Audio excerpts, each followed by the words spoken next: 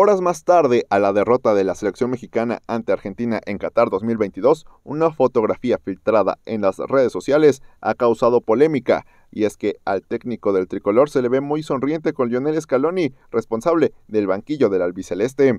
La imagen que comenzó a circular en redes sociales muestra al Tata Martino abrazando a Scaloni, misma que habría sido captada luego del juego en el estadio Lusail, en el que Argentina ganó 2 por 0 y mandó a México al último puesto en el grupo C de la Copa del Mundo.